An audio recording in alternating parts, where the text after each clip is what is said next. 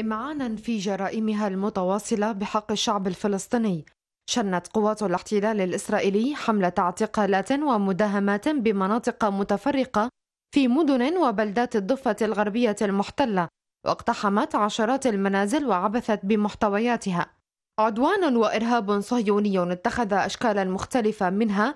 انتشار جنود للاحتلال على أسطح منازل المواطنين ولا سيما في حارة جابر بالمنطقة الجنوبية بالخليل بعد ساعات من اعتداء المستوطنين بدعم من قوات الاحتلال على المواطنين.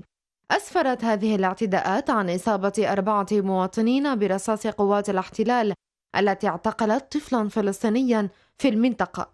كما داهمت قوات الاحتلال عددا من المنازل في بلدتي دورة جنوبي الخليل ويعبد قضاء جنين واعتقلت شابين وسط أجواء من التوتر والغليان الشعبي على ممارسات الاحتلال الإرهابية.